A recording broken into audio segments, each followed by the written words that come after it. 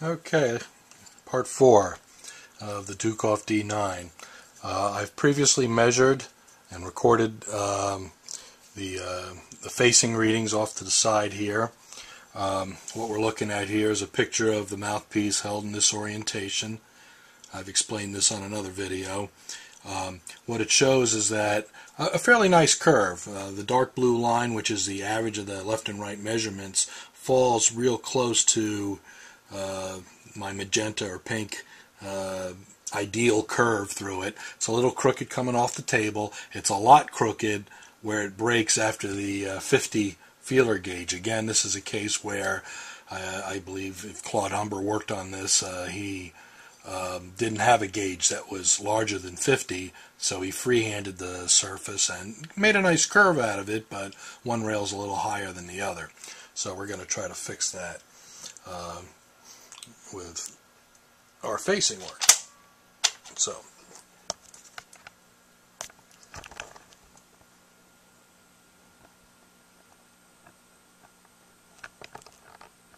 okay, first I got to see how, how flat the table is. Didn't look too bad when I laid a straight edge on it, but there, I'm sure it could use a little bit. It may have even been a little concave by design. See, it's kind of cleaned up around the outside edges. So I prefer these things flat. Plus, being how I have to open up the tip a little bit to um, fix its shape, it's good to flatten the table some so that I have some some room to work with. See, it's almost cleaned up. I can maybe another few strokes. I'm trying to do this flat. I, I you know, I put pressure right here uh, on the mouthpiece, and I sometimes lift up the heel a little bit, especially if if you have a convex uh, table. That's a technique you have to use so that you can take down the the bump. But this one didn't have that problem. It was pretty flat around the perimeter, so just needed to clean it up there. So Facing got a little shorter, probably up to here. Um, again, uh, I'm taking a look at this. Let's just see the evenness of it. It was real even in the middle, let's say right around here. That's fairly even. But then when I got up here, the right rail, I mean the left rail is uh, higher than the right one. As we get all the way up to the tip.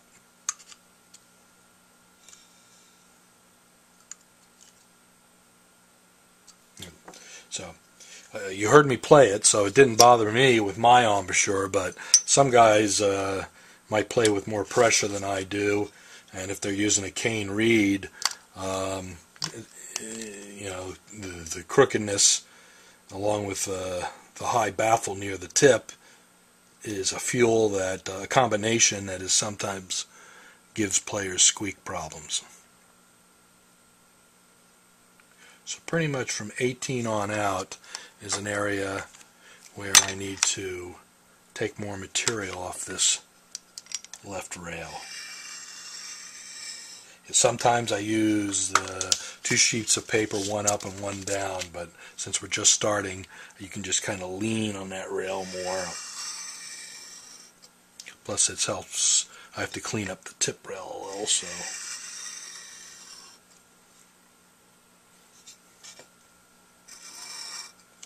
Let me vacuum this off.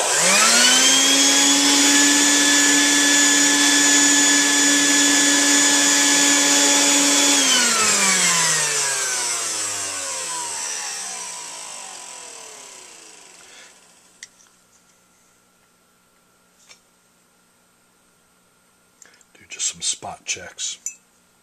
It's very tip. I can go a little more. Just a tad more. That's pretty much right on. So, we're close. Switch to the fine sandpaper. We're close as, as even. Okay. Now you can see after I did that, how it widened where I took that left corner down. The tip rail got fatter there as we, we cut into the material. And that gives me uh, now the option of either thinning the tip rail from the inside or the outside. In this case, we want to go from the outside to try to get that to, uh, you know, more closely resemble the tip of a reed. So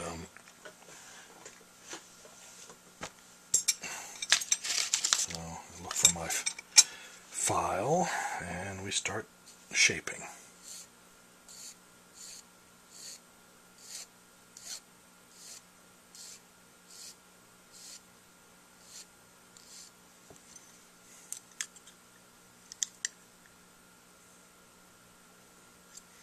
pretty much the low spot is right here and in fact that's a very thin tip rail there so we're gonna have to open up open up the tip just a tad more. To get some thickness in that area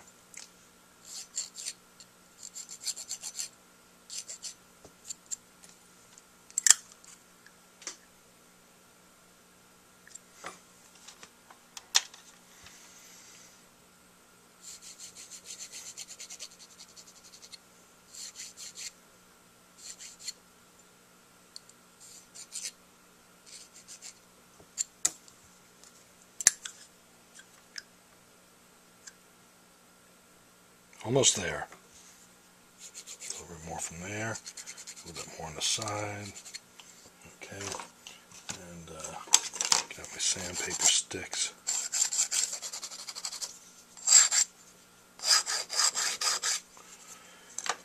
And we can come back to that later if we need to, but you shouldn't need to unless we, you know, gain thickness on the inside where we don't want it. And uh, I probably should not have uh, uh, you know, did the steel wool and the fine finishing there because we may still have to shape this tip rail from the inside. So.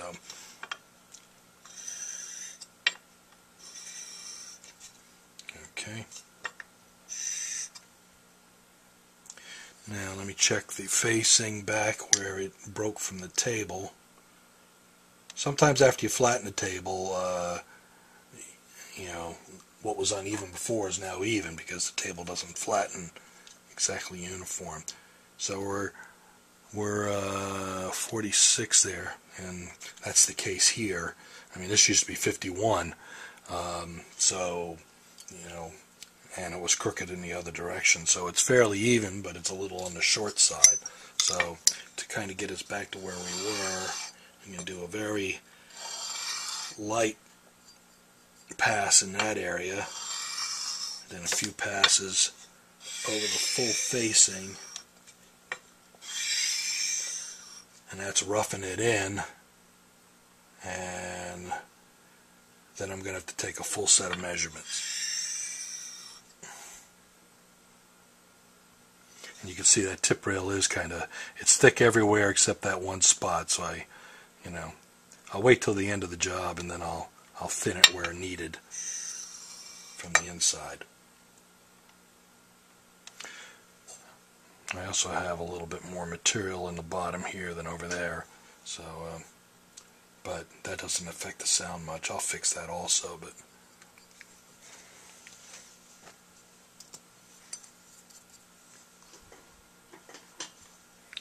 alright so I'll take a set of readings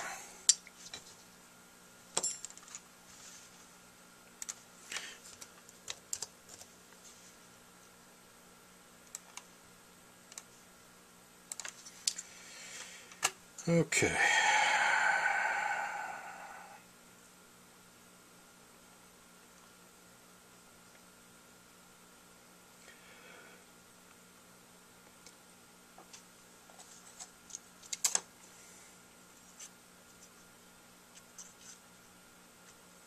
It's about 48 and 47.8. I'll eventually be making, making that go closer to 50 on this piece. 48 is not a bad length, it's just that being how this had a fairly open tip at 118 when we started, 50, 51, 52 is a better one. 43.8 and about 43.5.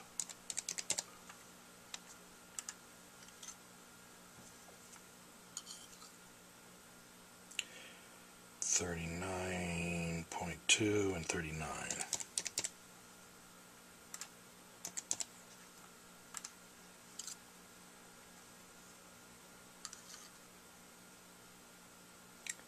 Thirty-three point nine, even on both sides. So we, we got the first three readings to take care of.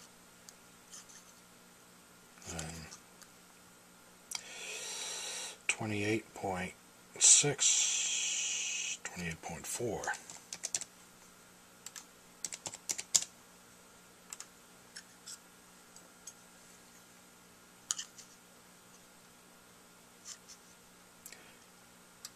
Twenty-three point nine, twenty-three point eight.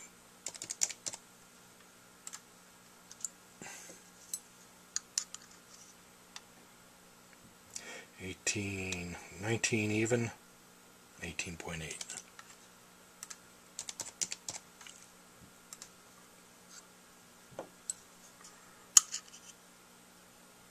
Thirteen point nine.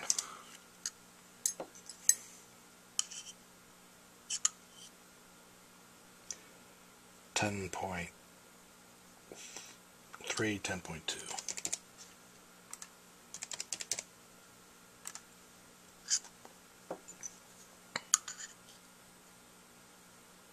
Six point one. Even.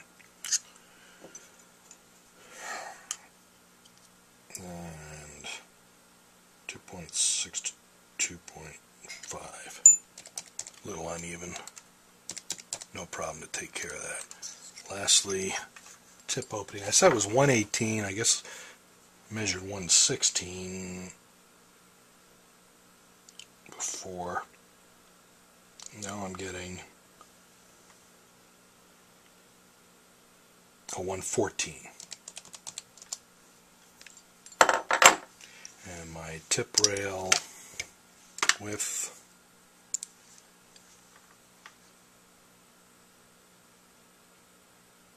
in the center where I measured it, contacted it with my depth gauge.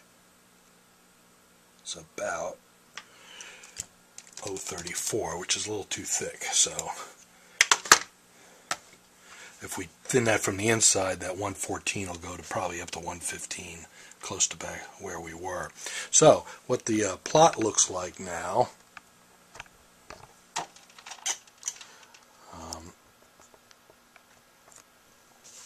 it dropped down in this area. Uh, that was from flattening the table. And we worked the tip more than we did the rest of the facing. So it's pretty much back to the original spec here. We just need to kind of uh, work on the facing curve for the first uh, eight or so readings to get that up.